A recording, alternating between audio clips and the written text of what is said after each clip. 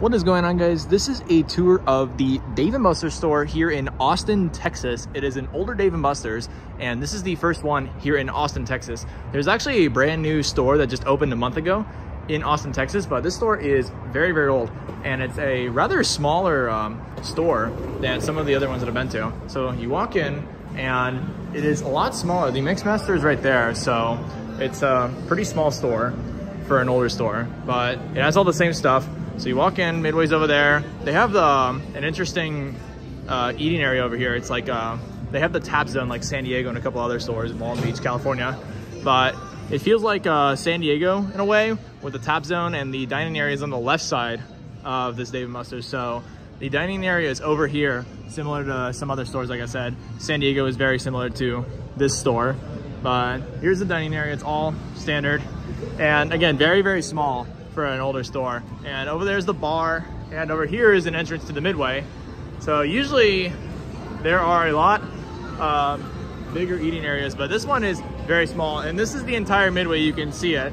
I know it looks kind of big, but this is definitely one of the smaller, older stores. But we're still gonna take a look at all the games here that they have in Austin. So first is the virtual reality. Over there is Red Cup Challenge, the single one. Here is the Halo Fire Team. And then over here, there are two big basketballs, and the jackpot's only 500, it's not 2,000. Here is Basketball Pro, and it's 210 points. That's very high. Here is Double Run, Doodle Jump, and also notice that this Dave & Buster's, the chips cost is 0.2 chips higher than every other Dave & Buster's. Usually they're 7.5. Here it's 7.7. I don't know why that is, but it's all right. Here is uh, Gold Fishing, a single ring toss, a Break the Plate, Angry Birds, Let's Bounce. There is the uh, House of the Dead, uh, Jurassic Park, a Candy Crush, and then over here is Subway Surfers, uh, Pop It Win, uh, Yahtzee Arcade, then they have Luigi's Mansion, they have the Beat Saber, they have uh, Ghostbusters, and then all the other basketballs in the back. They have a two-minute drill, uh, Hyper Pitch, a Gridiron Blitz in the back, Connect Four Hoops, only four NBA hoops. Usually there's a lot more. There's only four here. Here is the hot shot basketball. And back in the corner, they have full tilt, a wacky win, Galaga assault. And then over here is dodgeball ultimate arena. And it's very big, obviously. Here is the world's largest Pac-Man. And then over here they have Crossy and Disney and everything. So the Crossy Road and the Flappy are standard, 250 jackpots. The other side they have bobblehead baseball. They have Disney Crossy Road, it's also 250. They have a Harpoon Lagoon. And then over here they have Typhoon, Grand Piano Keys, uh, Space Invaders Frenzy. Over there is the Pong, the Guardians of the Galaxy, Elevator Action, an old photo booth. And then like I said, this Dave & Buster's is one of the stores that has the tap zone. Not a lot of older stores have this. The only other store that I know is San Diego, California. So I don't know if it's exclusive to some stores or it's testing or whatnot, but it's pretty cool. But it's unfortunate because it takes up a lot of the room where there could be games. Now it's just an eating area. So there's definitely not a lot of games here, which is very, very shocking for a Dave & Buster's this old, because usually they're a lot bigger. Uh, here is Terminator Salvation, and then Aliens on the other side, uh, Wheel of Fortune, and then this is really cool. They have an Omni Arena. Again, it takes up a lot of space. There's not a lot of games here at all. Like you're missing a lot of games here, which is very shocking. But this is a pretty cool Omni Arena thing. I've never seen this out of Dave & Buster's. I'm pretty sure it's separate, but that is still very, very cool.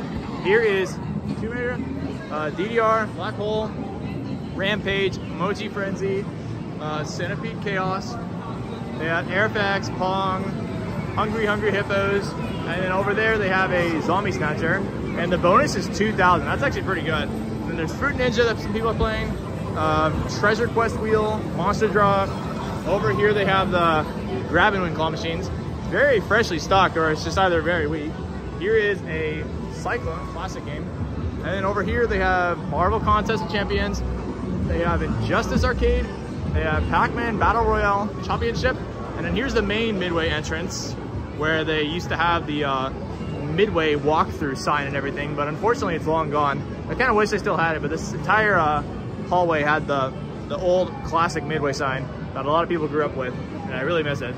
Uh, here is uh, Miss Pac-Man Galaga, the Ice Cream Machine, Wicked Tuna, Hot Wheels King of the Road, Minecraft Dungeons. They have three of the power things in the middle, but it's very uh, limited. Like I said, not a lot of games here. Here is Fishbowl Frenzy, and they're already back in the corner.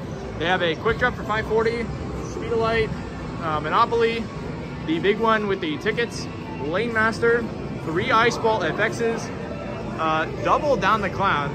This is super funny. Limit 15 balls on each side, which is kind of funny because there's always way less than that.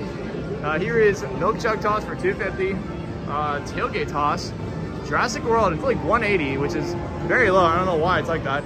Here's a Hatchet Hero, there's a Crazy Curves, and there is one single spinning win. They have Fu Panda, one Mario and Sonic. Usually there's four. That's very strange.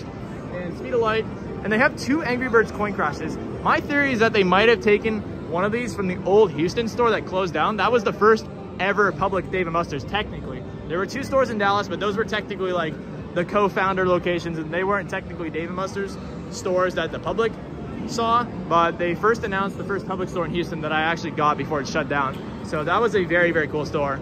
But I'm guarantee one of these might have came from that closed store because it's very rare to find two Angry Birds coin crashes at Dave Buster's. Uh, here is uh, Star Trek, and there are a couple other coin pushers I missed. So here's the SpongeBob Pineapple Arcade, and last but not least, next to the Winner's Circle is the uh, Spider-Man coin pusher. Like I said, very limited games. The top zone takes up so much space, and there's not a lot of games at all here, which is very shocking. But here's the Winner's Circle. It's the newer Winner's Circle.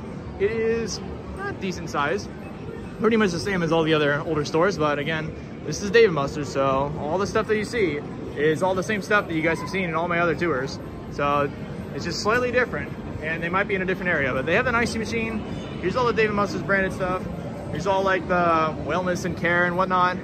I mean, Dave & Buster's has a cool selection of prizes, but honestly, it doesn't really compare to some of the other arcades. There's not a lot of cool things to get here. I like a lot of cool small prizes, but Dave & Buster's still has a pretty decent uh, big prize selection. So here they actually have a lot of good stuff. They have both the Xboxes, which isn't bad at all. The Roomba, they have the Ring. They don't have the Nest thermostat right now. They have the uh, Xbox and Switch kits. They have all the TriStar stuff. So that's pretty cool. AirPods Pro, regular AirPods, Sonic Maker, MetaQuest, and a OLED Switch. It's not, not bad. Here is some more stuff down here. More random plush. Not a lot of licensed plush here. It's kind of weird. And more stuff on this wall more uh, generic stuff on this wall. But honestly, it's not like that good for a price selection. A lot of stuff's in the middle. But again, they're kind of uh, limited on the uh, prices here. But that is basically it. This is the Dave & Buster's store in Austin, Texas. This is the older store. This is one out of two stores now. There is a store that just opened about a month ago. That's even smaller than this. But like I said, these older Dave & Buster's are much larger, except for this one. You guys may think that this is a large store, but honestly, this is probably one of the smaller, older stores that I have seen. But still very, very cool. Again, this is the Dave & Buster's store in Austin, Texas. Not a lot of cool games. The other store has a lot of rare games. If you guys like new stuff, definitely go to that South Austin store. A lot of really cool stuff there. But again, this is Dave & Buster's in Austin, Texas. If you guys like this tour, like, comment, subscribe, and comment down below where I should go to next and what you guys think of this Dave & Buster's here. I'll see you guys in the next tour.